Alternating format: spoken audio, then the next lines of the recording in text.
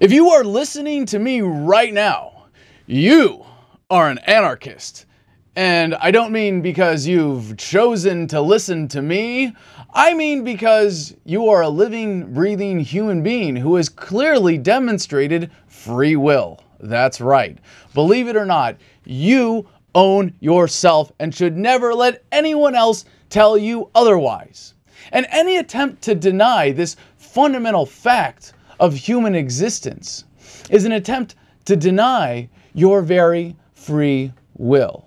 Now, what does it mean to be an anarchist? Specifically, anarcho capitalist, because that's the only true form of anarchy. Every other adjective applied or, or descriptor or, or, attempt to, to, to use anarchy to somehow paint this beautiful, harmonious reality that we are working towards, that we are evolving towards, is an attempt to slander the word or somehow deny the truth or to somehow impose some other system of rule upon you. But what does it mean? Anarchy, fundamentally, breaking it down. It doesn't mean no rules. It doesn't mean chaos. It means no rulers. But those who would rule over you, those who would take advantage of your gullibility will tell you, oh no, if you don't have rulers, you can't have rules. Who will decide what these rules are? You can't you can't possibly figure them out for yourselves, you poor little peons, you know. And if you don't have rulers, it's just going to be chaos and craziness and blood in the streets, anarchy. Oh no, be very afraid.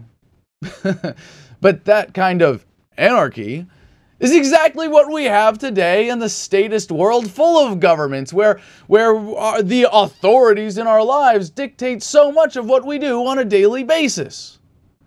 It has clearly taken us away from the natural state of human beings to be the alphas of our own lives, to be in charge of ourselves, to come together communally, yes, but not by force and coercion, but by, by, by voluntary, chosen associations.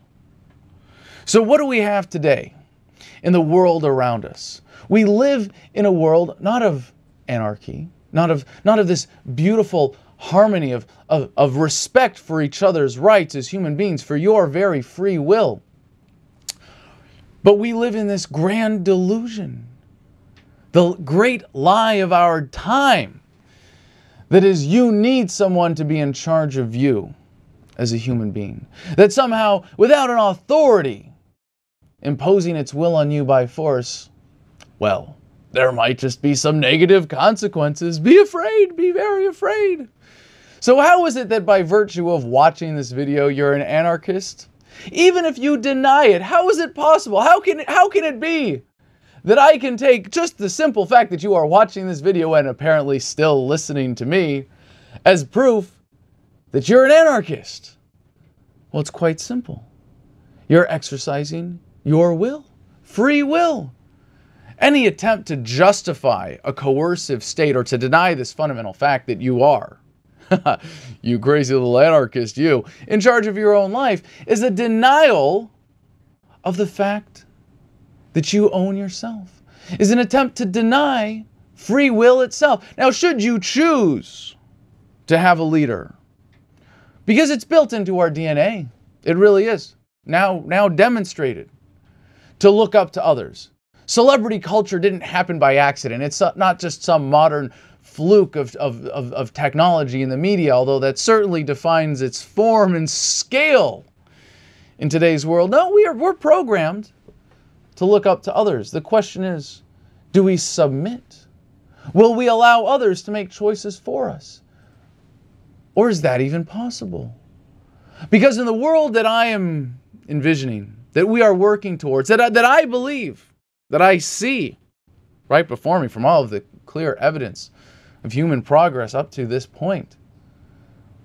A voluntary society, the destiny of humanity. What is it that we as individuals have to recognize in order to achieve this reality? That when you choose a leader, you're still choosing.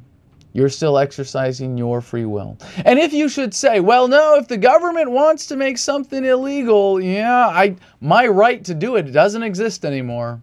If well, if the collective has said that they that they want to make something illegal here, then then I'm just not going to do it. Well, I'm guess what?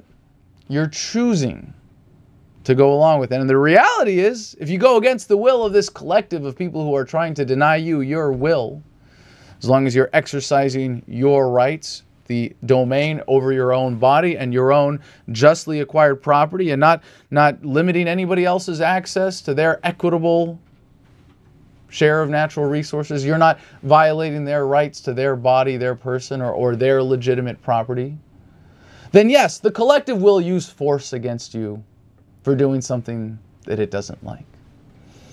But in that instance as well the collective is justifying anarchy. They are showing, they are proving by the very exercise of free will in any moment, the, with every breath you take as a human being, you are proving beyond a shadow of a doubt that you are an anarchist, that it is impossible for someone else to make a decision for you.